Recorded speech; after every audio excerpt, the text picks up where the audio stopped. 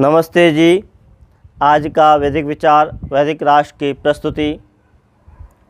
मात्र तिष्ट परांग मन मात्र तिष्ट परांग मन अथर्वेद के आठवें कांड के पहले सूक्त के नवम मंत्र से लिया है, मात्र तिष्ट परांग मन इसका अर्थ है, हे मनुष्य, तू संसार में मुर्दा दिल होकर के ना जी। जीवंत होकर के जी जीवंत हमारे जीवन में होना चाहिए। हमारे जीवन में जिजीविषा होनी चाहिए, जीने की इच्छा होनी चाहिए। बंधुओं, हम अपने जीवन के अंदर यदि जीवंत होकर नहीं जीते हैं तो याद रखिए हम मुर्दा हैं। और जो मुर्दा होता है, वह अकड़ जाता है।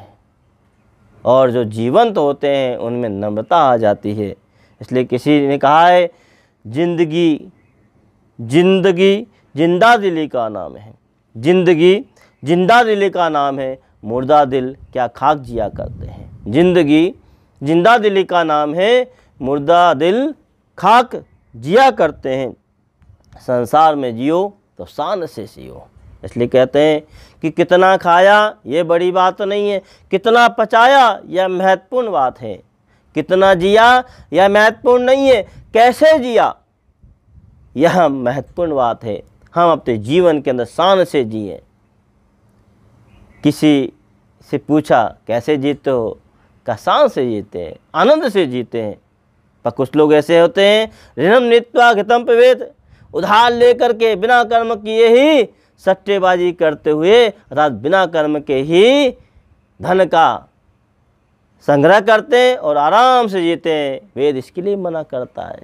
अक्षय माँ दिव्या किस्म किस्म मेहनत करके प्रसन्नता के साथ मेहनत करते हुए जीवन को जीना चाहिए, जुआ नहीं खेलना चाहिए।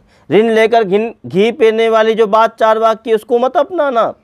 बंधुओं याद रखो, हम प्रसन्न होकर जिए, जीवंत होकर जिए। यदि कई बार हम किसी से पूछते हैं, कुछ लोग हमेशा, कुछ लोग हमेशा अपने दुखों के ही गीत गाते हैं। कुछ लोग हमेशा अपने दुखों के ही गीत गाते हैं। होली हो या दिवाली, सदा मातम मनाते हैं। होली हो या दिवाली, सदा मातम ही मनाते हैं। दुनिया उन्हीं की रागनी पर झूमती है। दुनिया उन्हीं की रागनी पर झूमती हैं, जो जलती चिता पर बैठकर वीणा बजाते हैं। जो जलती चिता पर बैठकर वीणा बजाते हैं। इसलिए आओ, संसार में आए हो तो जीना सीखो। जीना है तो शान से सीखो। इसलिए कहा है कि मस्त रहो। मस्त रहो। अस्त व्यस्त मत रहो। मस्त रहो, व्यस्त रहो। जो जीवन के अंदर व्यस्त रहता है, वह मस्त रहता है। मस्त रहना चाहिए। व्यस्त रहना चाहिए। पर अस्त व्यस्त नहीं रहना चाहिए। हमारा जो मन है, वह उदार मना हो, कंजूस ना रहे, उदार मन वाला हो। इसलिए कहा, उदार चरिता नाम तो वसुदेव कुटुम्बकम। हमारी संस्कृति हमको सिखाती है, पूरा संसार हमारा अपना परिवार है। प्रसन्नता के साथ हम सबको उदार मना से सिखाएँ कि हम कैसे जीते हैं। हम संसार को जीने के लिए कहते हैं, इसलिए कहा ना, जियो और जीने दो। कैसे जियोगे? कैसे जीने दोगे? जो जीवन में जीवंत होकर जीते हैं, वही वास्तव में अपने लक्ष्य को प्राप्त करते हैं। उन्नति के पथ पर चलते रहते हैं। इसलिए बुझे मन वाले हो कि मत जियो। बुझा हुआ मन दूसरों को भी बुझाता है।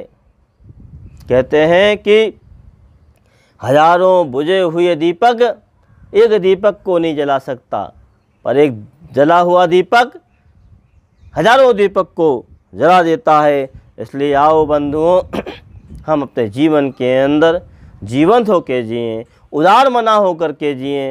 एक व्यक्ति बहुत कंजूस था तो कुछ खा रहा था, रोज़ खाता था तो एक मन चले ने कहा, अरे सेठ जी, क्या खा रहे हो? तो सेठ जी कहते हैं, जहर खा रहा हूँ। तो उसने कहा कि, सेठ जी, मुझे भी थोड़ा जहर दे दो। कहने का तात्पर्य निकलता है कि जिस व्यक्ति के जीवन में उदार मना नहीं होता है, अदु, कंजूसीपन होता है, वह दुखी रहता है।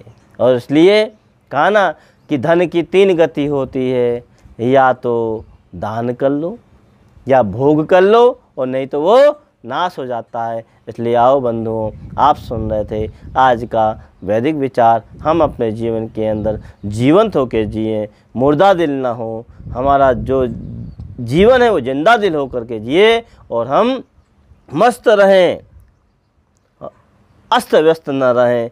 व्यस्त रहें। इसी प्रकार से आप वैदिक विचारों को, वैदिक सुक्तियों को अपने जीवन के उन्नति के पथ पर ले जाने वाले वैदिक मंत्रों को सुनने के लिए वैदिक राष्ट्र यूट्यूब चैनल का सब्सक्राइब करिए, लाइक करिए, शेयर करिए। ओम शांति शांति शांति।